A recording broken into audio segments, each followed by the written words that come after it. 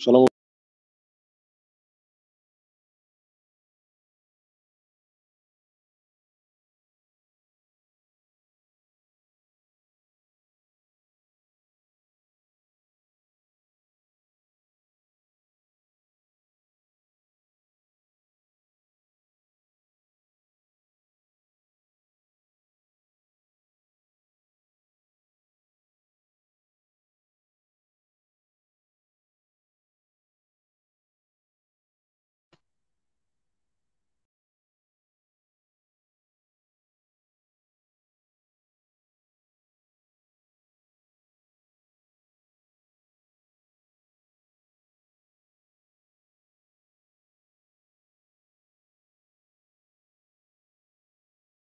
Continua la Torah il lungo discorso che Moshe Rabenu ha detto ad Am Israel prima di entrare nella terra di Israele. E c'è una cosa molto interessante, punto in comune tra le due parashiot.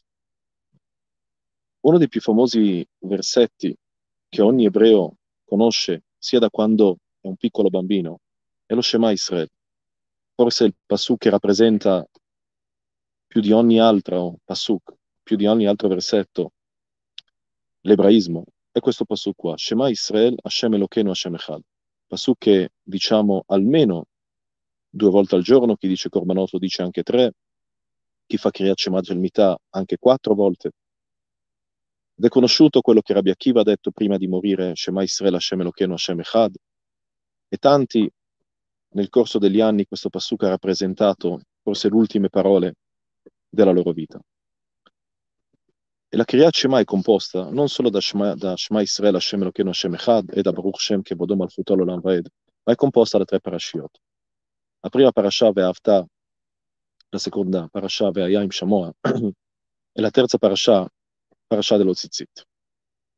Nella parasha di Ve'atchanan c'è scritto il pasuk Shema Israel, Hashem Elokeinu, Hashem Echad e c'è anche la parasha di Ve'avta. In questa parasha, nella parasha di Ekev, nel undicesimo capitolo, tredicesimo versetto, c'è la continuazione Ve'ayim Shamoa Tishmu il Mitzvotav.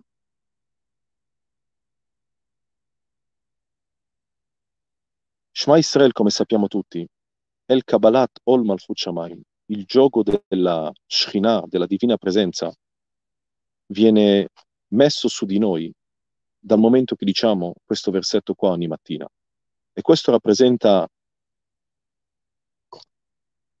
la parte forse principale della Tefillah. Infatti tutti i Psukei de Zimra sono una preparazione a Shema Israel.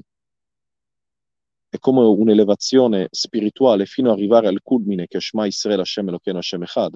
E poi la Amidah ci connette a altri mondi, infatti nella Amidah siamo come degli angeli. Ma lo Shema Israel, diciamo, è forse la parte principale della Tefillah. E come abbiamo detto, Shema Israel è accettare Ol Malchut Shamayim, ovvero la Shekhinah, la divina presenza su di noi. Infatti dice il Boer Moshe di Ogerov, Shema sono le iniziali di Ol Malchut Shamayim, appunto. E dice Rabeno Efraim che nel pasuk Ve'hayim Shamoa, Ve'hayim Shamoa Tishmeu El, Shamoa l'ultima lettera è la Ain, Tishmeu l'ultima lettera è la Vav, e Kel Alef Lamed l'ultima lettera è la Lamed, vediamo qua che c'è anche la parola Ol, Ol appunto il gioco. Vediamo che tutto è collegato e Ol Malchut Shamayim è l'essenza di Shema Israel.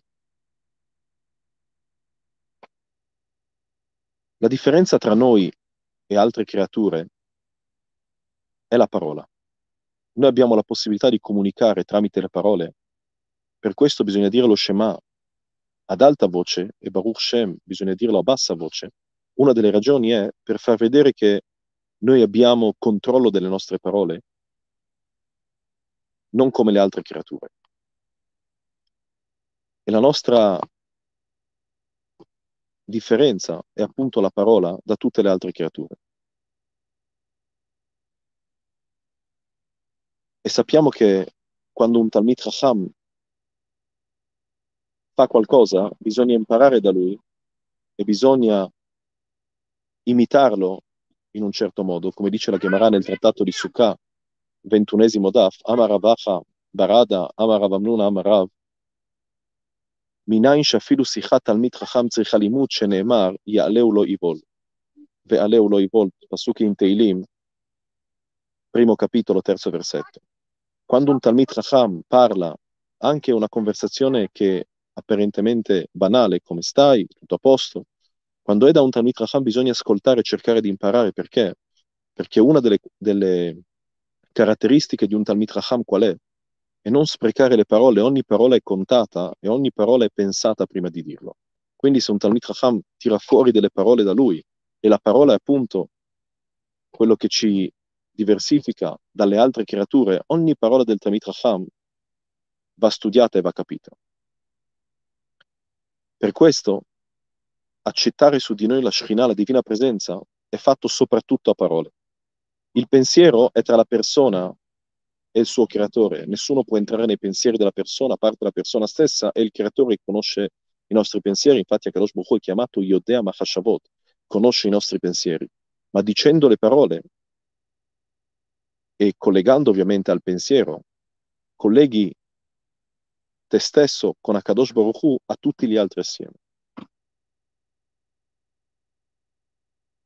Però vediamo che nel secondo paragrafo dello Shema, dopo Ve'avta, appunto, Vaya im Shamoa, che è in questa parasha, vediamo che la Torah scrive Vaya im Shamoa Tishmeu, due volte. Se ascolterai El Mitzvotai, se ascolterai mie, i miei precetti, ma perché la Torah lo ripete due volte? Rashi, anche lui era difficile per lui questa cosa qua e cerca una risposta e dice Im Tishmeu Bayashan, Tishmeu Bachadash se ascolterete quello che vi ho detto fino ad ora, ascolterete anche quello, le cose nuove che vi dico. Infatti, quando c'è da parlare dell'opposto, ovvero se vi dimenticherete, c'è anche scritto anche lì, se vi dimenticherete due volte. Perché due volte? Perché se ti inizi a dimenticare una mitzvah, pian piano dimenticherai anche altre e alla fine dimenticherai tutto. Per questo bisogna essere molto attenti sia nell'ascoltare ma neanche nel cercare di ricordarsi, perché da una cosa piccola diventa piano piano più grande finché si espande anche ad altre cose. Anche il Torat Mima porta la stessa cosa e porta al Torat Mima un passuk in Teilim. Dice il Torat Mima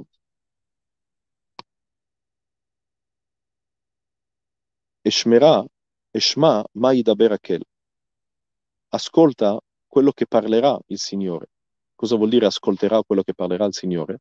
Quello che tu parli qua lo ascolterai anche dopo, nell'Olam Abba, perché? Perché le parole che hai creato qua ti aspetteranno anche lì. Per questo porta il Torat Mimav, che a Kadosh Baruch Hu ha dato l'intelligenza, la Chokhmah, la data ai Chachamim e la, i Chachamim possono aumentare questa Chokhmah. E come si aumenta la Chokhmah? Si aumenta la Chokhmah ricordandosi delle mitzvot. Ogni mitzvah, noi non possiamo capire le mitzvot fino alla fine, ma ogni mitzvah ha dentro di sé un immenso tesoro che pian piano compiendola si può iniziare a capire, ma non potremo capire solo dopo 120 anni, quando Akadosh Baruch si rivelerà a noi e ci spiegherà e vedremo tante cose che non potevamo vedere in questo mondo qua. Dice il Be'er Moshe di Ogerov che David Amelech dice in Teilim, Teilim 63, versetto 6, Usfatai ranenot yihalel pi. Dice Rashi, Leshonot shel achanot. Vediamo che quando David Amelech in Telim parla delle nostre labbra, dice re, ran, ranenot, canteranno, usa il plurale. Ovviamente labbra sono plurali perché sono due, abbiamo il labbro sopra e il labbro sotto. Ma quando parliamo di quello che esce dalle labbra, è la parola, la parola è singolare. Se una persona dice una parola è singolare, allora perché David Amelech usa il plurale sulle parole che escono?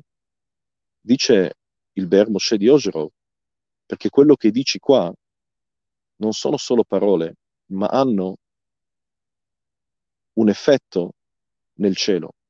Quello che dici qua vengono rispecchiate le tue parole anche nel cielo.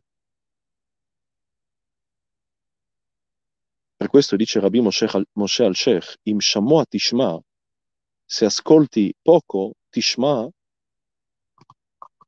im shamoa tishma, se ascolti una, ascolterai anche tante, perché una persona, mitzvah goreret mitzvah, dice la Gemara, una mitzvah tira con sé un'altra mitzvah. Questo è quello che portano i nostri Chamim. E c'è la famosa Gemara, Gemara nel trattato di Chulin, 91esimo Daf, Gemara di cui abbiamo già parlato, che porta la Gemara che a Kadosh Baruch Hu vuole meglio ad Am Israel, Chavivim, gli piace di più le persone rispetto agli angeli. Perché a Kadosh Baruch gli piacciono più le persone rispetto agli angeli, le sue creazioni? Dice lì la Gemara, perché noi diciamo il nome di Hashem dopo due parole, i tzadiki e gli, gli, angeli dicono il nome di Hashem dopo tre parole. Cosa diciamo nella Gdusha? Kadosh, Kadosh, Kadosh Hashem. Il nome di Hashem viene dopo tre parole, appunto Kadosh, dice la Gemara. Mentre noi, quando diciamo Shema Israel Hashem, il nome di Hashem viene dopo due parole. E appunto nella Amidah e nella Kedusha, noi ci comportiamo come angeli, uniamo i piedi, le diciamo ad bassa voce. E dice lì la Gemara, perché noi diciamo il nome di Hashem dopo due parole, gli angeli dopo tre? Perché dopo due parole siamo più vicini da Kadosh Baruch Hu, gli angeli hanno bisogno di tre. Così porta la Gemara nel trattato di Chulin, 91esimo Daf, una bellissima Gemara. E appunto, come noi possiamo esprimere le nostre parole? Possiamo esprimere le nostre parole tramite l'Alef Bet, l'alfabeto ebraico. Chi ha creato l'alfabeto ebraico? Adam Arishon già parlava. E perché la prima lettera è Dalef? Se guardiamo il Midrash Otiot di Rabbi Akiva, Midrash che porta alla conversazione di ogni lettera con Akadosh Baruch Hu, che ogni lettera chiede a Akadosh Baruch Hu perché non hai creato con me il mondo, hai creato con la Bet. E infatti alla Aleph la, una delle risposte è che è vero che ho, ho iniziato, ho creato il mondo con la Bet, ho iniziato la Torah con la Bet, ma tu la Aleph sei la prima lettera dei dieci comandamenti, Anochi è la prima, lettera, è la prima parola, quindi la Aleph è la prima lettera. Un'altra risposta che dà Kadosh Baruch Hu, se guardiamo Otiod de Rabbi Akiva, dice, cos'è la Aleph? Cosa rappresenta la prima lettera, la lettera Aleph? Dice il Midrash, Aleph sono le iniziali di Eftach Lashon Pe. Aleph vuol dire aprirò la bocca nel, con la mia lingua. La mia lingua parlerà e così potrò dire le parole. Infatti l'Alef rappresenta cosa? La forza che ha l'uomo, dov'è? È la forza nella parola. Continua lì il Midrash e dice, Im en Israel baolam, en li shevach vegdula. Se non ci sono, no, se non c'è il mio popolo, il popolo di Israele in questo mondo qua, non ho chi mi loda e non ho chi mi rende grande. C'è il male shirah vezimra, Israel omrim lefanai, bekol yom, se non avessi i canti e le lodi che Ben Israel dicono davanti a me ogni giorno, lo barati olami, non avrei creato il mio mondo.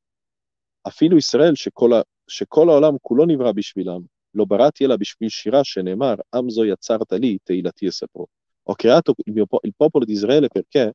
Perché mi lodino, perché cantino e perché pregano a me, e tutte queste cose qua vengono fatte con la bocca, per questo la lettera Aleph rappresenta Eftach Lashon Pe, aprirò la bocca con la lingua e lì usciranno le parole, uscirà il canto che Am Israel loda Kadosh Baruch Hu in questo modo qua, così porta il Midrash Oteot di Rabbi Akiva. E cos'è più importante delle, della tfilà, della preghiera? La tfilà, come dice Rabbi Yosef Elbo nel Sefer Haikarim, nella quarta parte, ventesimo capitolo, dice, e lì parla lungamente della tfilà, che ogni mitzvah, come tutti noi sappiamo, ogni mitzvah dà vita a una parte del corpo, per questo ci sono 613 mitzvot con 613 parti del corpo, cose conosciute a tutti. Ma c'è una mitzvah che è la mitzvah di tfilà, di preghiera, che include tutte le mitzvot, perché la tfilà, la tfilà che va direttamente su, va direttamente su nel cielo e viene al posto dei korbanot, e come sappiamo i korbanot, i sacrifici venivano per perdonare l'uomo, per lodare il Signore, ogni korban aveva il suo, il suo scopo, e la tfilà che viene oggi al posto del korban ha lo stessa allo stesso, eh, allo stesso scopo del Corban. Il Corban veniva bruciato nel Misbeach sull'altare, il fumo saliva su e quel fumo appunto arrivava al cielo. Ogni, la stessa cosa la tfilà con le nostre parole, le parole escono dalla nostra bocca e vanno su direttamente in Shamaim nel cielo. Per questo la tfilà è quello che viene al posto dei sacrifici. E le, come il sacrificio con, includeva dentro di sé tutto tutto l'uomo e tutto quello che è la preghiera dell'uomo, la lode o il perdono che fa parte di tutto il corpo, così anche la tfilà non c'è parte del corpo che, so, che la tfilà mette a posto o che quella parte del corpo gode della tfilà, ma tutto il corpo ha vantaggio con la tfilà. Questo è quello che spiega molto lungamente Rabbi Yosef Elbo nel Sefer Karim, come detto nella quarta parte, ventesimo capitolo. Chi ha questo libro qua può vedere dentro parole molto belle, e così anche Rabbeinu Bachie nella nostra parasha parla lungamente dell'importanza della tfilà, che è ovvia a tutti, ma è sempre meglio, è sempre un bene guardare dentro e leggere e ricevere un frisuk da quello che dicono i nostri famigli. E appunto, dice la Gemara, così porta la Gemara nel trattato di Ta'anit, Ule avdo e dovete lavorare nel senso di lodare, nel senso di lavoro spirituale ovviamente, bechol levavchem con tutti i vostri cuori. Cosa vuol dire tutti i vostri cuori? Dice lì la Gemara, ese avodash balev zot fila. Qual è il lavoro del cuore? È la tfila, è la preghiera. Ci sono altre versioni a questo, ovviamente non solo la preghiera, come tra poco vedremo. E c'è un'altra Gemara, Gemara nel trattato di Babakama, Dav Tzadik Bet, 92esimo Dav, dice Ve'avad Hashem Elokechem, Zoi Kriyat Shema Vetfila. Vediamo che anche la Kriyat Shema viene in un certo modo esaltata e non viene inclusa solo nella tfila. Kriyat Shema Vetfila, ovvero sia la tfila e la preghiera, vediamo che il Kriyat è un altro livello della preghiera così porta la Gemara nel trattato di, di Babakama.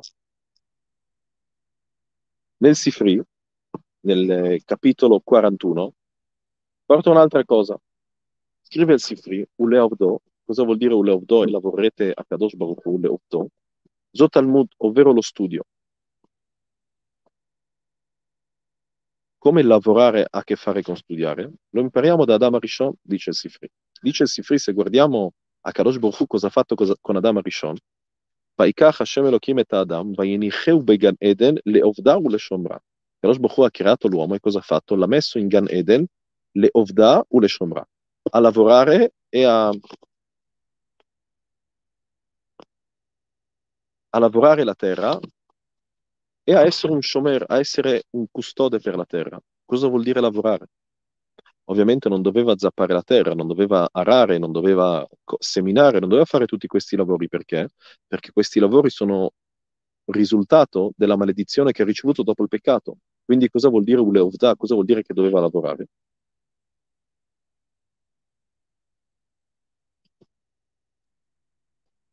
Dice il Sifri, vedi da qua che doveva fare korbanot, doveva lodare a Kadosh Baruch Hu, doveva fare korbanot, doveva mettere un misbeach e fare il misbeach e korbanot e i sacrifici. Questo è un lavoro, avodata Kohanim.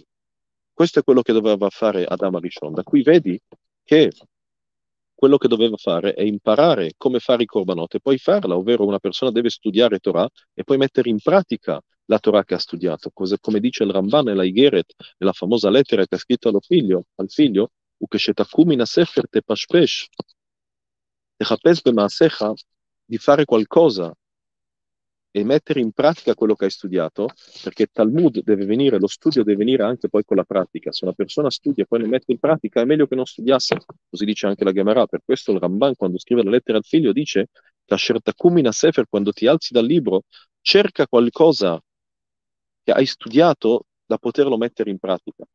Per questo vediamo che il lavoro cos'è? È lo studio, e lo studio poi cos'è? E mettere in pratica quello che hai studiato, questo è esattamente quello che dice il Sifri su Adam Arishon. E dice, porta al Pardes Yosef in nome del, eh, dell'Imrei Emet di Gur, e dice una cosa molto interessante, Adam Arishon era un Khatan, Adam Arishon era appena sposato, e un Khatan sappiamo che non può fare nessun lavoro fisico, da cui vediamo che l'Eovda o le Shomra non è un lavoro fisico, Infatti dice l'Imremet, cosa vuol dire leovda? Avodah, il lavoro cos'è? Mitzvot a sé, le mitzvot che devi fare. Questo è l'avod, l'avodat Hashem, il lavoro che Kadosh Baruch Hu vuole che facciamo. Quali sono? Le mitzvot a sé, alzarsi la mattina, andare a pregare, andare a studiare, fare se hai una mitzvah, una mitzvah tzedakah, vai a dare tzedakah. Se puoi aiutare una persona, aiutala. Sono mitzvot che devi fare, devi alzarti e fare. E le shomra, e cosa vuol dire custodire la terra? Dice l'Imremet, custodire vuol dire no, le mitzvot che non devi fare, devi stare attento a non fare averot, mitzvot lotase. Ci Ci sono tante mitzvot che una persona deve stare attento a non farla. Come stai attento a non fare? Anche questo è un lavoro. Vuol dire che ci sono mitzvot che una persona deve fare, una persona, e le mitzvot che una persona deve stare attento a non fare certe azioni perché? Perché sono l'opposto della mitzvah. Quindi quando Adam Arishon è stato messo in Ganeden, le ovda o le shomra, a fare certe mitzvot e a evitare di fare certe averot. Per questo vediamo che Avodah non è solo tfilah, ma è anche limud, e ovviamente tutti i concetti sono collegati perché una persona non è che deve fare solo questo solo l'altro, o solo altro, deve fare tutti e due. Da qui viene il Gurarie e chiede perché c'è scritto Bechol Yom, perché nello Shema Israel c'è scritto che ogni giorno, non è che ogni giorno Akadosh Baruch Hu ci dice cosa fare. Allora perché ogni giorno? Da qui vediamo, vediamo le parole di Rashi. Rashi anche aveva, dice il Gurarie, dice il Maral, che Rashi anche era difficile per lui capire come mai nello Shema Israel diciamo והיה עם שמוע תשמעו מצוותיי אשר אנוכי מצווך היום, che dovete osservare le mitzvot che io vi comando oggi. Le mitzvot non sono state comandate oggi, le mitzvot sono state comandate già al Mamad Ar Sinai. Allora perché, perché la, ogni volta diciamo oggi, oggi? Dice Rashi, Sheyu be'enecha kechadashim. Perché ogni giorno le mitzvot che devi fare, devi farle come la prima volta. Come se la prima volta con la stessa voglia, con la stessa con lo stesso entusiasmo, con, eh, con, lo stesso amore in cui l'ha fatto la prima volta. Dove impariamo questo? Lo vediamo da Aaron Cohen. Bealotcha et anerot, cosa diciamo lì? Qual è la grande, la grande lode su Aaron Cohen? Che non ha mai cambiato dal comandamento di Akadosh Baruch. Cosa vuol dire che non ha mai cambiato? È ovvio che se Akadosh Baruch ti comanda di fare una cosa, questo è quello che devi fare. Qual è la grande lode di Aaron Cohen? Risp- risponde l'Irashi, Sheloshina, che non ha cambiato. Cosa vuol dire Sheloshina? Cosa vuol dire che non ha cambiato? Che ogni giorno veniva a fare, a mettere a posto le nerot del Bet Amigdash o del Mishkan come se fosse la prima volta. Se una persona riceve un regalo, un abito, un vestito, lo mette la prima volta, lo mette con tanto entusiasmo, lo mette con tanta voglia, è contento e felice perché ha ricevuto questo regalo e lo mette la prima volta, è una cosa nuova per lui. La seconda volta sarà meno entusiasta di farlo, la terza, la quarta, poi sarà già abituato, lo mette come mette tutti gli altri vestiti. La Torah ti dice le mitzvot non, con, non, non è la prima volta sei entusiasta come il bambino che mette a 13 anni, mette la prima volta tefilin, tutto contento, si va al Kotel Maravi, si fa tutto una cerimonia per lui, poi mette tefilin, poi la seconda volta, la terza volta, dopo una settimana, dopo un mese, il bambino già si inizia a abituare e per tutto il resto della sua vita mette tefilin come, come, come ogni, ogni persona che mette tefilin, come una cosa normale. No, ogni giorno bisogna mettere i tefilin con lo stesso entusiasmo della prima volta. Questo è quello che ci dice Rashi qua, che siano come una novità per te, come la prima volta che l'hai fatto. Questo è così che devi affrontare le mitzvot, così che devi prendere le mitzvot, con lo stesso entusiasmo della prima volta. Dice il, dice il Gurarie, questo è quello che vuol dire ogni giorno. Yom, ogni giorno deve essere la stessa cosa. Vediamo, e già abbiamo portato nel shur di settimana scorsa, che ogni volta che la Torah ci vuole insegnare qualcosa, usa la parola shmi'ah, usa la parola ascoltare. Il motivo l'abbiamo portato nella, nella lezione di settimana scorsa, cosa porta il Midrash Agadol, che Bnei Israel sappiamo quando hanno, a Kadosh Baruch ha chiesto se volete la Torah, hanno detto Naaseh venishma, faremo e ascolteremo. Come mai allora ogni volta che a Kadosh Baruch dà una mitzvah, Moshe Rabbeinu in tutto il libro di Devarim deve parlare parla solo di ascolteremo, non parliamo mai del faremo, del nasse, parliamo solo del nishma. Porta lì Midrash Gadol la ragione. La ragione è che dopo che abbiamo detto nasse nishma, faremo e ascolteremo, più o meno 40 giorni dopo cosa è successo? Bene Israele, il popolo di Israele ha fatto il vitello d'oro. Quindi hanno fatto il vitello d'oro, quindi il faremo che hanno detto quando hanno, hanno risposto ad Hashem se volevano accettare la Torah, il faremo non è più valido, cosa è rimasto? È rimasto l'ascolteremo. Quindi vediamo che ogni volta che c'è scritto un, un precetto, una mitzvah, c'è scritta la parola lishmoa. Le, infatti, in questa parasha qua lo vediamo più di due volte, Vaya ekev tishmeu, se ascolterete, Vaya im shamoa tishmeu, parliamo sempre di shmia. Questo è quello che porta Midrash Agadol. Ma cosa vuol dire shmia? Qual è la differenza? Qual è la, il significato unico di questa parola lishmoa? ascoltare. Il Gaon Mivilna, nel suo commento nel libro di Mishlei, nel quarto capitolo, al primo versetto di Mishlei, dice Shlomo Melech, Shimu banim musar av, ve'ekshivu le da'at bina. Vediamo in questo versetto qua c'è sia la parola lishmoa e sia la parola leakshiv. Tutte e due apparentemente vuol dire ascoltare, ma porta il Gaon Mivilna nel suo commento a Mishlei qual è il significato di questa parola qua lishmoa. Dice che la parola lishmoa ha tre significati. Il primo, la Shon Kabbalah, dice il Gaon Mivilna. Cosa vuol dire la Shon Kabbalah? Accettare quello che viene detto. Non solo ascolterete, ma accetterete quello che vi sto dicendo. Seconda, il secondo significato della parola ishmoa è avana, non solo accettare quello che state ascoltando, ma anche capirlo e vedere quello che intendo dire. Quindi accettare, capire e poi la terza spiegazione che porta il Gon Vina è appunto ascoltare, che è la cosa principale.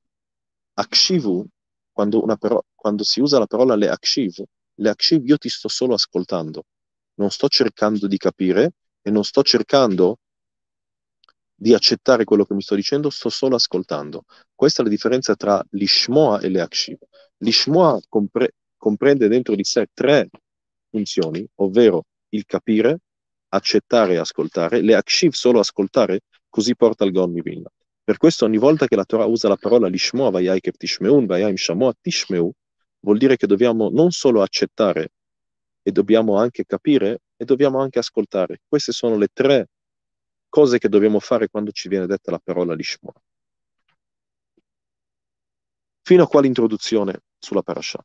Da qui entriamo un po' più nel dettaglio di Ve'ayim Shamoat Ishmeu. Le domande sono tante, cercheremo di riassumerne solo alcune perché purtroppo il tempo è limitato, ma cerchiamo di capire un po' queste parole qua che diciamo tante volte durante il giorno e sono parole che quasi, quasi ogni ebreo conosce a memoria. Cercare di capire non ripeterle perché le sappiamo a memoria, ma veramente capire il significato. Innanzitutto, la domanda principale è come mai la parasha di Ve'ayim Shamoa non è collegata con la parasha di Ve'avta. Se lo Shema Israel, come abbiamo detto, Shema Israel Hashem Elokeinu Hashem Echad, Ve'avta et Hashem Elokecha, Ve'ayim Shamoa Tishmu sono quello, le parti che compongono lo Shema Israel. Bisogna capire come mai la Torah non, non li lega tutto assieme, ma sono in parashot diverse. Shema Israel Ve'avta in parashat Vaitchanan, Ve'ayim Shamoa in questa parasha qua come mai non sono attaccate? Prima domanda. Seconda domanda, la domanda che chiede sia l'Orachaim Akadosh sia il libro Tiferet Yonatan, due Gdolei Israel che hanno vissuto più o meno nello stesso periodo, chiedono come mai inizia con Vehaya im Shamoa. Vehaya sappiamo, en Vehaya el Shon Simcha, così porta la Gemara in Megillah, così porta il Midrash in vari posti. Vehaya è una cosa felice. Perché la, la, Torah, la, la parasha di Ve'ayim Shamo inizia con la parola Ve'aya, vuol dire che c'è, una certa felicità, una certa simcha quando diciamo queste parole qua. La terza domanda è come mai c'è la Vav Achibur, la Vav che unisce. Ve'aya. Haya im Shamoa, perché Vav? Se vieni a unire, e abbiamo detto che la, la parasha di Ve'aya im Shamoa non viene subito dopo la parasha di Ve'avta, quindi non è unita Ve'avta, a cosa viene unita? Cos'è che la Vav viene a collegare tra Ve'aya im Shamoa e Pri? Innanzitutto, bisogna capire anche la parola stessa Veaya. Se diciamo, se eliminiamo la parola Veaya e diciamo Im Shamoat Ishmeu, se ascolterete, Veaya apparentemente non è la parola giusta e non ha nessun senso metterla dentro questo versetto qua. Si poteva iniziare benissimo, Im Shamot Ishmu, se ascolterete, Akadosh Baruch sta dicendo, se ascolterete ricevete così, se non ascolterete riceverete cos'ha. Vuol dire che il Ve'aya apparentemente non è al suo posto. Queste sono le domande, speriamo di riuscire a rispondere a tutte. Iniziamo con un'altra domanda, che questa ci inizierà, la risposta, ci sono varie risposte a questa domanda, inizierà ad aprirci un po' le spiegazioni di questo passo qua. Una delle differenze tra la parasha di Ve'avta e la parasha di Ve'ayim Shamoa scritto Bechol levavcha o Bechol nafshecha, nella parasha di Ve'aya c'è scritto Bechol levavchem o Bechol nafshechem al plurale, ma nella parasha di Ve'avta c'è scritto Bechol meodecha, nella parasha di Ve'aya non scritto Bechol meodechem. tanti dei nostri Chamim si chiedono come mai la Torah lì non parla. E qua non, nella parasha di Vaya non dice Bechol Meodecha, Meodecha vuol dire con tutti i tuoi averi. Nefesh è appunto l'anima, con tutta la tua anima, con tutto il tuo cuore, con tutti i tuoi averi. Ma quando parla nella parasha di Vaya non c'è scritto i tuoi averi. La domanda è come mai. La famosa risposta la porta l'Orachaim Akadosh e anche il Kliyakar porta più o meno la stessa cosa, sono basati su una Gemara del trattato di Sanedrin. Trattato di Sanedrin, la Torah dice che, a Torah, che Yachid, una persona singola, tiene più alle sue cose materiali tante volte che alla sua vita. Per questo quando parli di singolo nella parasha di Ve'avta è tutta letta al singolare, dici Bechol Meodecha perché suoi le sue proprietà materiali di questo mondo qua sono molto più importanti, tante volte una persona è più attaccata a quello che ha che alla vita stessa. Ma quando si parla di un zibur, quando si parla di tante persone messe assieme, non è valido ovviamente. Per questo quando parli in singolare parli di Bechol Meodecha e quando parli in plurale non parli di Bechol Meodechem. Questa risposta che porta l'Orchaim Akadosh assieme anche al Kliakar portano più o meno la stessa cosa. Lo Snaim la Torah porta una risposta che è più o meno la continuazione di questo, ma dice una cosa molto semplice e brillante allo stesso punto. Dice, se tu parli al, singol- al singolare, la persona singola, in teoria, potrebbe vendere tutto quello che ha, darlo in Tzedakah, e studiare e dire, posso vivere di Tzedakah, posso vivere di, della bontà degli altri? E come sappiamo tanti tzadikim che studiano, la gente cerca in ogni modo di aiutarli. Perché? Perché sanno che quello che fa è la cosa più santa più pura e più giusta al mondo. E purtroppo non tutti abbiamo la possibilità di sederci e studiare tutta la giornata per tutta la vita, per questo tanti di noi cercano di aiutare Talmid Hamim, cercano di aiutare Rabbanim, cercano di aiutare gente che studia tutto il giorno perché sappiamo tutti che la cosa più giusta da fare, purtroppo non tutti abbiamo la forza e la pazienza di farlo. Quindi una persona in teoria se dice io d'ora in poi voglio studiare tutta la mia vita, voglio dedicare la mia vita alla Torah, può vendere tutto quello che ha e, e, e vivere di quello che ha venduto e se non ha più niente potrebbe chiedere Tzedakah perché? Perché una persona che ha veramente bisogno può chiedere Tzedakah e può vivere di questo. Dice lo Slam Torah, per questo quando si parla di singoli puoi dire con tutti i tuoi averi, perché se una persona dice se io sono occupato troppo a lavorare e non posso occuparmi del mio Avodat Hashem, preferisco magari diminuire il mio lavoro è aumentare il mio Vat Hashem anche se guadagnerò di meno. Per questo una persona sing- al singolare può fare una decisione del genere, perché? Perché sa sempre che c'è qualcun altro che può aiutarlo, perché gente apprezza chiunque studia. Ma quando parli in plurale, quando parli di una comunità, quando parli di un gruppo di persone, non puoi dire a un gruppo di persone vendete tutto e vivrete di zakah, non esiste, non è giusto. È anche vietato farlo perché? Perché in una comunità c'è ognuno ha il suo ruolo, ovviamente se se la comunità sarà tutta Ovdei Hashem e saranno tutti Talmidei Chamim, Akadosh Baruch Hu manderà quello che c'è bisogno, ovviamente, ma non si può chiedere a una comunità di fare ciò. Un Rav non può andare nel Beta Knesset e iniziare a parlare davanti a membri della comunità e dire adesso voi tutti dovete vendere tutto, non dovete avere più niente, dovete tutti studiare la Torah. Non è giusto e sbagliato anche, perché una comunità è composta di tante persone che fanno tante cose diverse, ognuno aiuta l'altro nel modo che può. Per questo dice lo Zanem la Torah, al plurale non puoi scriverlo, lo puoi scrivere solo al singolare, è più o meno una continuazione della spiegazione dell'Oracham HaKadosh Gliakar con un po' di più sale e pepe, possiamo dire così. Per questo gli Alcucimoni porta un esempio molto bello. Porta gli Alcucimoni a un esempio a un, una persona che vuole riempire un pozzo, un pozzo d'acqua molto profondo, nessuno, nessuno, sa quanto è profondo questo pozzo qua, e porta delle persone che possono, che hanno la possibilità di farlo, questo è il loro lavoro. Arrivano le persone, dicono non potremo mai riempire questo pozzo qua perché non sappiamo quanto è profondo, forse l'acqua, vai, l'acqua è infinita, quindi non abbiamo la possibilità di misurare. Dice il Balabait, io vi pago a ore, e loro iniziano a discutere con lui, no, non possiamo perché non possiamo riempirlo. È arrivato lì un Chacham e ha detto a questi Poalim qua, ha detto non siate stupidi, perché? Perché se lui vi paga ora cosa vi interessa se il, bo- il pozzo viene riempito o no? Finché il pozzo non si riempie, voi siete pagati e se il, il pozzo non si riempie a vita, sarete pagati a vita. Quindi usate il vostro cervello e non siate e non, e non ascoltate, e non ascoltate quello, che, quello, che, la vostra mente in piccolo vi, di, vi, dice, guardate la situazione da tutti i punti di vista e potete solo guadagnare. Questo è quello che Kadosh Baruch ci dice, nessuno deve finire tutta la Torah e nessuno deve studiare tutta la Torah. La Torah non è una, non, rice- non c'è un, un, esame alla fine. La persona deve studiare, se una persona può studiare di più, è bene che studi di più, da nessuno è chiesto di finire tutta la Torah. Quanto una persona può studiare, questo è quello che deve studiare, deve cercare pian piano di aumentare. Noi non siamo giudicati per un traguardo dove arriviamo, siamo giudicati per lo sforzo che facciamo. Cavata i team la Torah, questa è una delle domande che Rosh Bofu ci chiede quando arriviamo in cielo, non ti scrive hai finito tutta la Torah, hai scritto hai studiato la Torah, sei riuscito a liberare dal tuo tempo, so che eri occupato a fare tante cose giuste e buone. Quanto tempo hai liberato per studiare la Torah? Non c'è nessun traguardo in cui dobbiamo arrivare. Questo è quello che ci chiede. Per questo Moshe Rabbeinu viene e dice adesso Vayim Shamot Ishmu, se ascolterete. Perché Moshe Rabbeinu può dircelo? Perché tutti sappiamo che l'uscire dall'Egitto, ricevere la Torah e passare per il deserto era tutta una preparazione per entrare nella terra di Israele. Viene Moshe Rabbeinu e ci dice adesso voi dovete ascoltare la Torah e la mitzvot.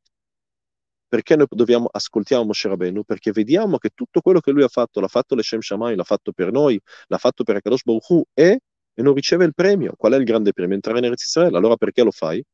Ti dice Moshe Rabbeinu perché io ricevo ricompensa non su, al traguardo, non all'arrivo.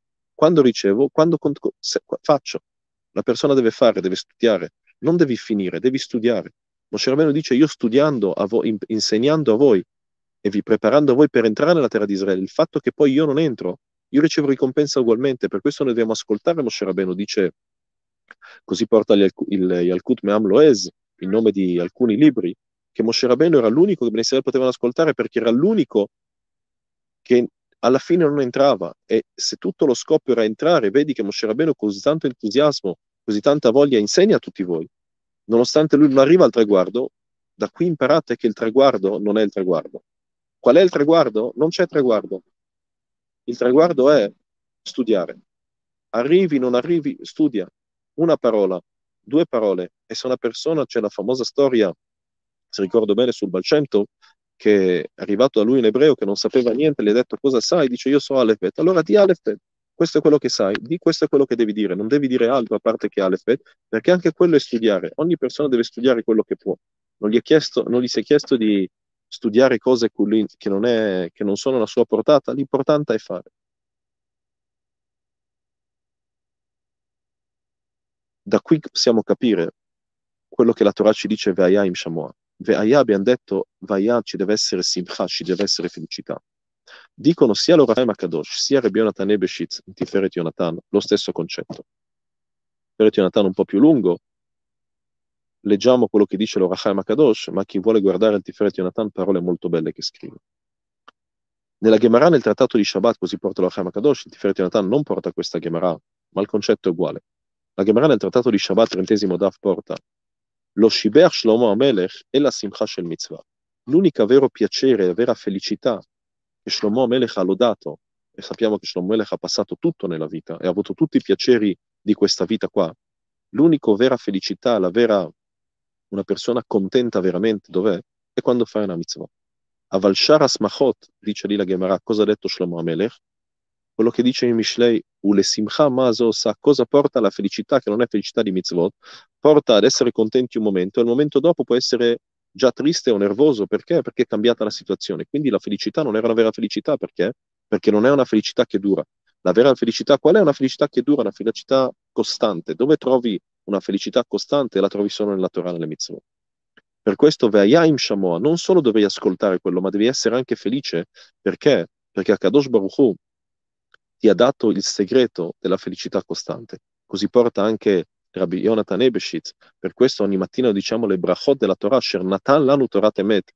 Ci ha dato la Torah, l'unica Torah, che è la Torah vera, e solo per questo motivo qua dobbiamo essere felici. E se una persona non è felice, scrive Rabbi Yonatan Ebeshit. È come dire una bracha levatala, è come se fai una bracha vorrei per Yaetz e poi non mangi, cosa succede? Hai fatto una bracha e hai detto nome di Hashem in vano. Se una persona quando fa quando dice le brachot sulla Torah non è felice, è come se ha detto una brachot in vano, perché? Perché Natan l'hanno Torah temet, ci ha dato la Torah vera, una persona deve essere felice, e qua è il segreto della felicità costante. Per questo una persona quando dice le brachot della Torah non è felice, è come se fa una bracha levatala, una bracha in vano così porta. Per questo Ve'aya im Shamon non dovete solo ascoltare, ma dovete essere anche felici. Per questo la Torah apre con la parola Ve'aya. Allora perché ce l'aveva Chibur? Non ho visto una risposta, però secondo me la risposta è molto semplice.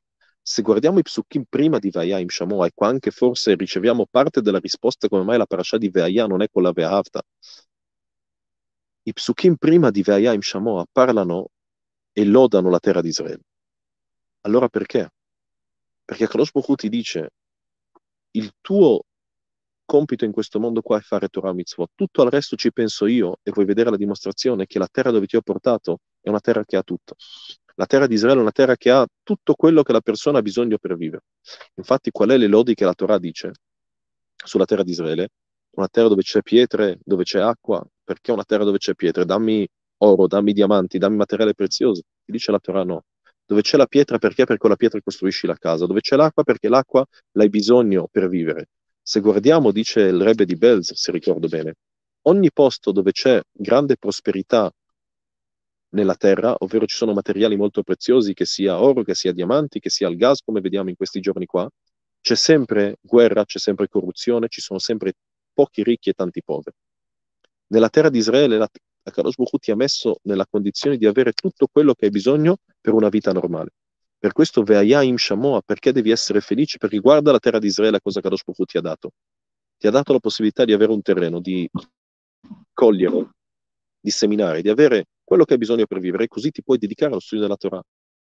Per questo Veaya devi essere felice, così portano la Rachaim e il Tiferet Yonatan. E la Va viene collegata ai psukim della terra di Israele. Perché? Per lodare la terra di Israele, per farti vedere che hai tutto e non hai bisogno di altro. Da qui vengono sia l'Orachaim Akadosh che anche il Ramban parte in settimana, nella parasha di settimana scorsa, in modo più corto in questa settimana qua, e chiedono una domanda molto molto forte. Tutti conosciamo la Gemara nel trattato di Kiddushin, 39esimo daf. Schar mitzvah behai alma leika. Non c'è ricompensa per le mitzvot che hai fai qua. Allora, come la Torah ci viene a dire, su Kim che diciamo appunto ogni giorno, behaya im shamot ishmeu, se ascolterete le mie mitzvot, cosa succederà? Leggiamo i psukim dentro.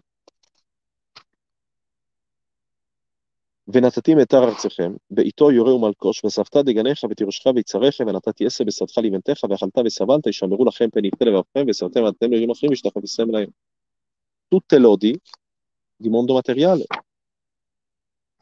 la vostra terra vi darà quello che dovete dare, la vostra animale darà quello che vi dovete dare. Tutti, sono tutte lodi, diciamo, materiali, tutte brachot, benedizioni materiali. La stessa cosa all'inizio della parasha, se ascolterete Tamishpatim Aele, se ascolterete le mie leggi, cosa succederà?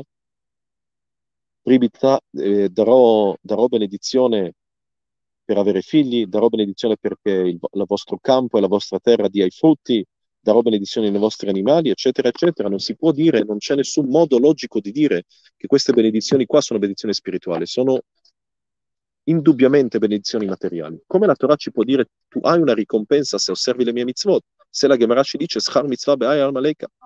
Non abbiamo ricompensa sulle mitzvot. Come dice Rabbeinu Bachie, all'ultimo commento su Parashah et Hanan, molto lungamente parla là, questo mondo di azione, qua la persona deve fare Ayom le asotam, umachar le chabel zcharam. Oggi devi fare, domani, ovvero dopo 120 anni, ricevi la ricompensa. Quindi come la Torah ci può promettere così tante ricompense materiali se osserviamo se osserverete le mie mitzvot? Sappiamo tutti che non solo la mitzvah non ha ricompensa, come dice il Chafetz Chaim, la mitzvah non è pagabile qua. Tu non puoi andare a comprare delle caramelle al negozio con eh, con un assegno dove c'è, dove c'è, scritto una cifra di milioni di dollari. Non ha, non ha, nessun senso. Non puoi comprare qualcosa con un euro quando hai un assegno con un milione. Non, ha, non, non esiste.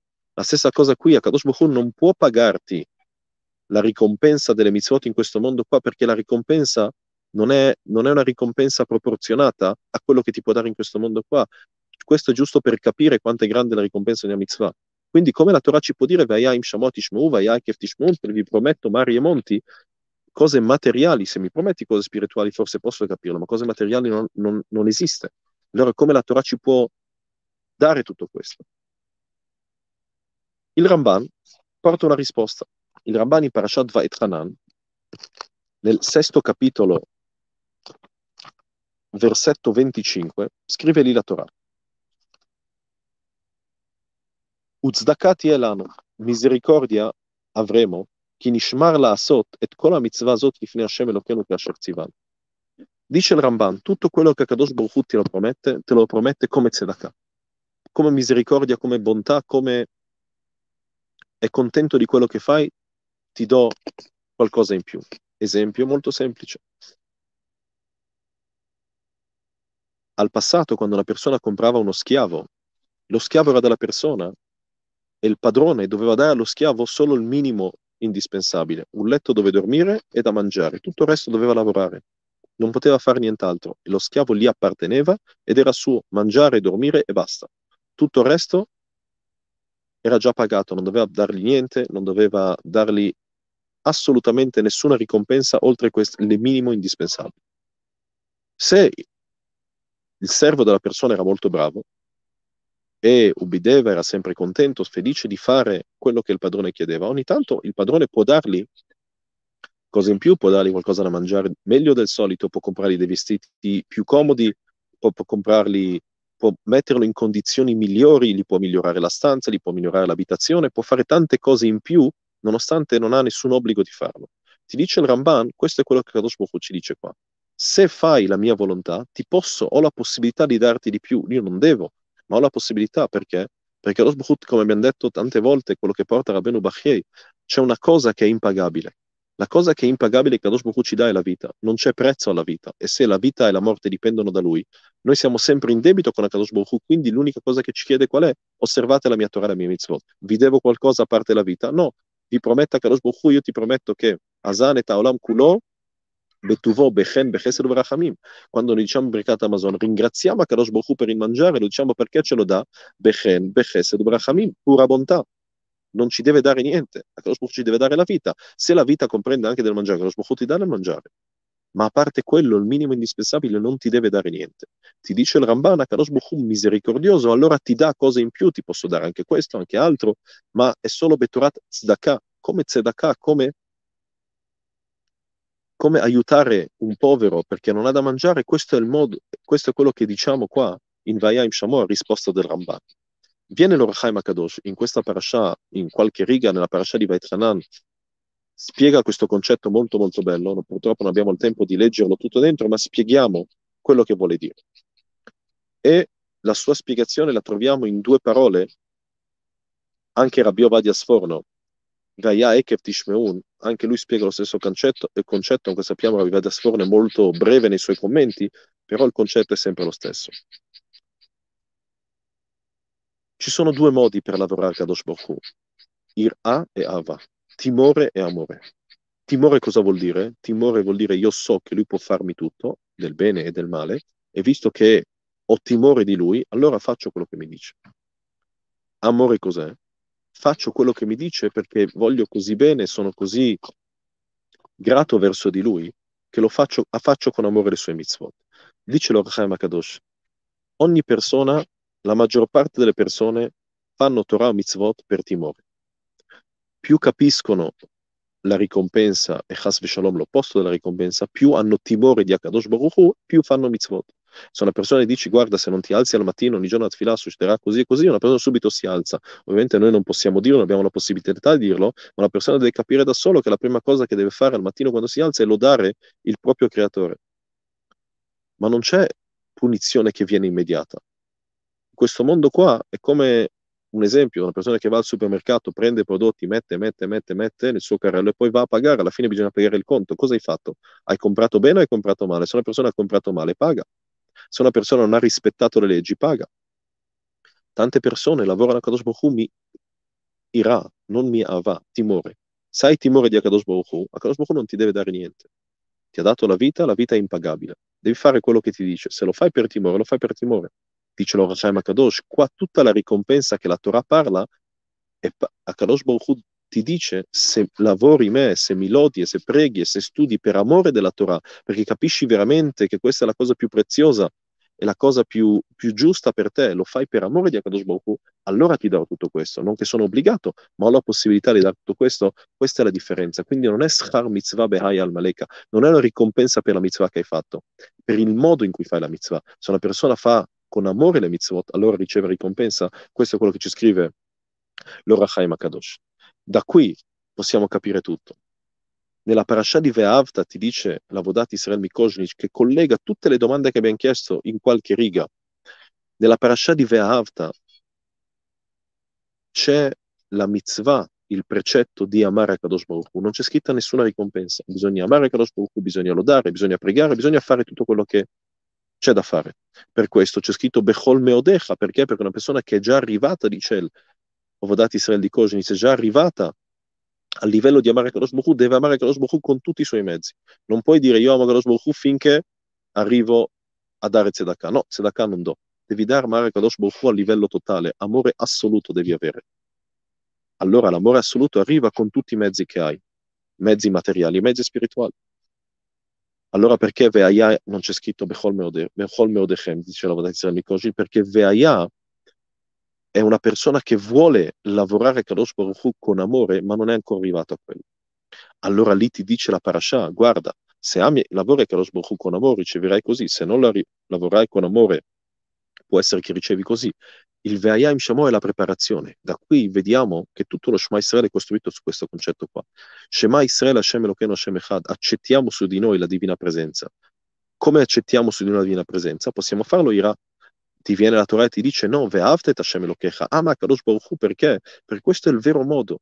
Ci deve essere timore, ma ci deve essere anche amore il livello di amore è più alto del livello di timore. Ve'avta Hashem Elokecha, non ve'irat et Hashem Elokecha, non abbi timore, ma abbi amore per Akadosh Baruch Vuoi arrivare al livello di amore? Ve'ayim Shamot Ishmeu. Per questo le parashiot non sono attaccate, perché? Perché qua ci dice cosa devi fare e nella parasha di Ve'aya come ci devi arrivare. Quindi non c'è collegamento tra le due cose. Questo è lo scopo e qua è il modo in cui arrivarci. Quindi Shema Israel e Ve'avta vanno assieme, la parasha di Ve'aya è separata inizia ad essere felice nella vodata Hashem che hai, inizia a capire e guardare, aprire gli occhi con tutte le cose buone che Kadosh Baruch ti ha dato, allora potrai arrivare, arrivare, al livello di amore verso Kadosh Baruch Questa è la parasha di Vayim Shamoa, questo è quello che ci dice Vaya e che Tishmeun Vayim Shamoa, sono le stesse cose. Le ricompense che Kadosh Baruch ti darà saranno come dei dolcetti che Kadosh Baruch ti dà, perché? Perché sei andato nella mia strada, perché hai fatto quello che io ti ho chiesto, e come dice il Midrash negli Alcucci Moni, l'hai fatto con sorriso. Se una persona serve un'altra persona con sorriso o no, è una grande differenza, nonostante sia piccola. Però Shmuel ti dice fai quello che ti chiedo con un sorriso, con felicità, una felicità genuina, vera, non solo, di, solo esterna, perché con l'esternità non arrivi niente nel tuo lavoro verso Kadosh Baruch quando veramente è interno, allora Kadosh Baruch ti darà tutte queste cose che ti chiede. Shabbat Shalom a tutti.